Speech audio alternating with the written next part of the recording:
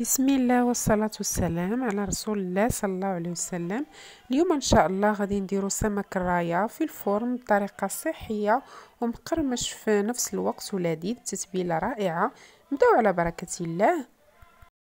اليوم إن شاء الله غادي نديرو سمك الراية كيف كتشوفوا معايا. غادي نديرو مقلي في الفران بطريقة صحية واقتصادية. أول حاجة كنقطعو سمك الراية بهذا الشكل طريفات صغار. باش يسهل علينا نتبلوهم ولا نديروا لهم التوابل وبالنسبة للتوابل غادي نحتاجو ملعقة صغيرة الملح ملعقة صغيرة الكمون قزبور يابس تحميرة اولا بابريكا الكركم اولا الخرقوم. هنا عندي سكينجبير ملعقة صغيرة وهنا ربع ملعقة صغيرة ديال الثومه بودرة ثومه مجففة. هنا عندي تقريبا آه، جوج ريوس ديال الثوم كبار محكوكين. هنا عندي ملعقه كبيرة ما بين قزبور ومعدنوس مطحونين. وحامضة عصرتها وصفيتها من دوك العظام. غادي ناخذ إناء. بسم الله. بسم الله. ناخدو عصير الحامض اولا الليمون الملح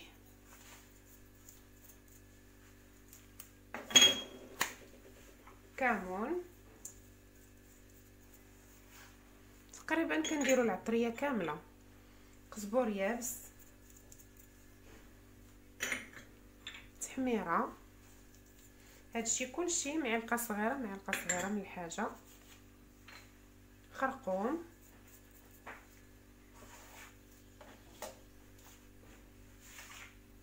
بودرة الثوم وسكينجبير ثومة مطحونة. تقدروا تكتفيو غير بالثومة مطحونة.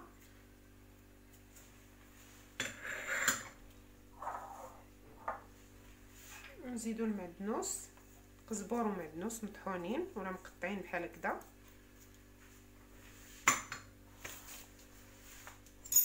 غادي نخلط الكل.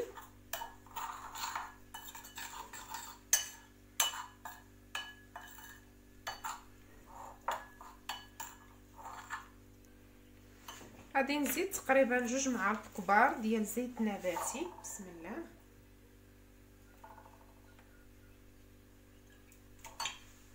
نخلطوا الكل. غادي نبداو نتبلو هذاك السمك اللي عندنا. بهاد لا ماريناد ولا هاد هاد السبيلة.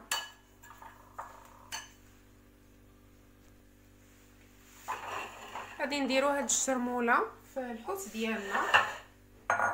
بسم الله.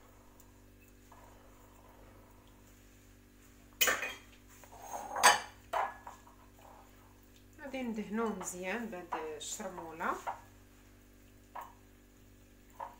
ونخليه هنا في اناء اخر تيشربها ليا تيشربها مزيان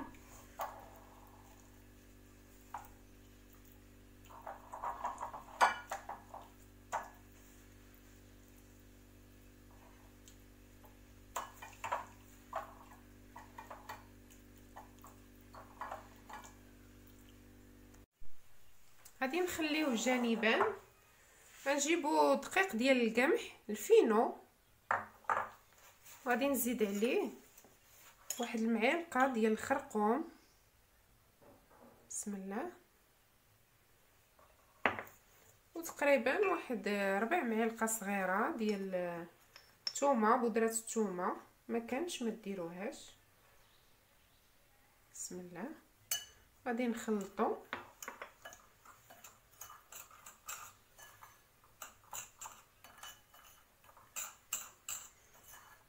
الدقيق راه غربلناه من قبل. غادي نوجدو لاطا ديالنا. أنا درت فيها ورق الزبده بابي كويسون صافي غادي نبداو ناخدو الحوت ديالنا ولا سمك الرايه غادي ندوزوه في هاد الفينو. بسم الله. صافي وغادي نحطوه في اللاطه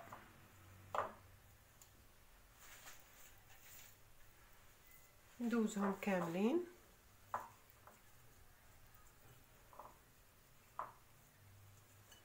كيف كتشوفوا طريقة صحية.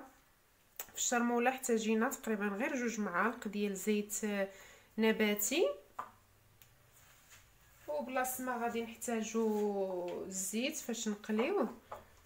غادي نديرو غير بابي كويسون غادي نرشو غير شي معلقة ديال زيت الزيتون من الفوق. يعني الطريقة اقتصادية وصحية في نفس الوقت. إلا بغينا نقليو غادي خصنا أو واحد نصف لتر ديال ديال الزيت. يعني الطريقة مزيانة.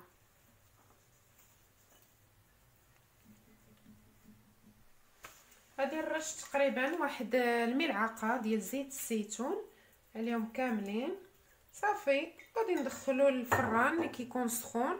أنا درتو يسخن من قبل ونتلاقاو بعد ما يطيبوا إن شاء الله. هذا هو الشكل النهائي ديال الحوت. كيف كتشوفوا ها هو طري وطيب مزيان ومقرمش. باقي سخون. نتمنى إن شاء الله ديروا هاد الطريقة اللي اقتصادية وأهم شيء أنها صحية. ونتلاقاو إن شاء الله في وصفات جديدة ومتميزه